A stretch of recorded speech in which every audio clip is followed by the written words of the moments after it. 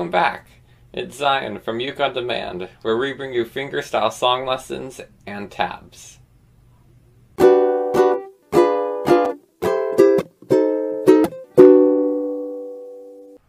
So we're going to cover the first eight measures of Ode to Joy here, and the rest of the song over at ukeondemand.com. So join us there afterwards for more fingerstyles and for all the tab for this song. So there's two ways to play the beginning of Ode to Joy. The first way, which is the way I did in the video, looks like this. Or, if you have shorter fingers, that might not be the most comfortable reach. So you can also do it like this. And we're going to go over both ways in this video. You're going to start with your common G chord, which is open G string, index finger on the second fret of the C string, ring finger on the third fret of the E string, and middle finger on the second fret of the A string. You're going to strum that once. Then you're going to pick, leaving the chord there, you're going to pick the second fret of the A, bring pinky to the third fret of the A, And you're going to reach pinky up to the fifth fret of the A string. You're going to strum this shape that you've just created. It's a G5. So that looks like this. Open G, index finger on the second fret of C, ring finger on the third fret of the E, and pinky on the fifth fret of the A. So again, you're going to strum that once. Bring your pinky back down to the third fret of the A. Then you're going to lift your pinky off to reveal your middle finger on the second fret of the A. Then you're going to lift your middle finger off and pick open A. Now the second way to play this, um, this might be a little more comfortable if you have shorter fingers, is to begin the song with a barred version of a G chord. And not a full bar, but just a partial bar. And that's to have the index finger barring the second frets of string A, E, and C, and have your middle finger on the third fret of the E string.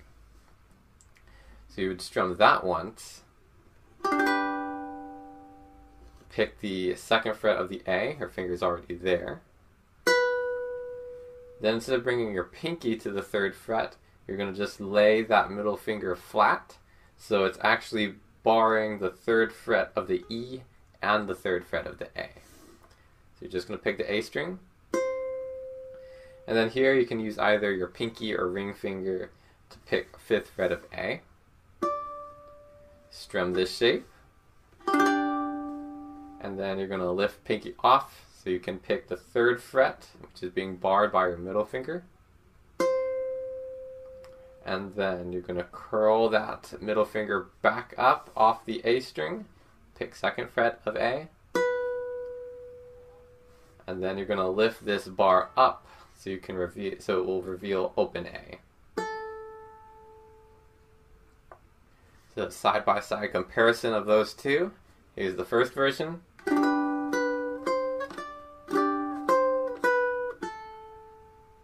And then here's the second version.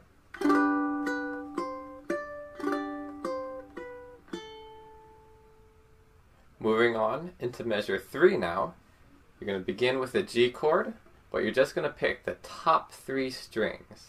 So strings G, C, and E. Then you're going to pick, leaving the chord there, you're going to pick the third fret of E. You're going to lift middle finger off and pick open A. You're going to put middle finger back on and pick the second fret of A. Then you're going to strum your G chord. Then you're going to move into a D chord. That looks like this. You're going to have a middle finger on the second fret of the G string, ring finger on the second fret of the C string, and pinky on the second fret of the E string. Now you can, if you like, if you have find it more comfortable, you can do uh, index finger on the second fret of G, middle finger on the second fret of C, and ring finger on the second fret of E. Or you can even do a barred version of D. But in this tutorial, I'm going to stick with D using the pinky. So, after you make that D chord, you're going to pick the A string, open A, and then strum the entire D chord. So playing those first four measures a little more up to speed would sound like this.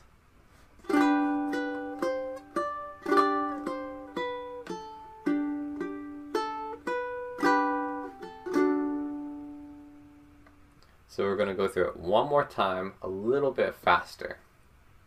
So, decide which way you're going to start off with, a bar G or a typical G chord. So you're going to strum G, second fret of the A string, third fret of the A string, fifth fret of the A string, strum your G5 chord, which you just created, no matter which way you've been doing it. Pick third fret of the A, second fret, open A, Then you're going to pick your top three strings of your G chord. Third fret E. Open A. Second fret of the A, middle finger goes back on. You're going to strum your G chord. Now you're going to go into a D chord, pick open A, then strum your D. So moving on, the next part of the song will sound like this.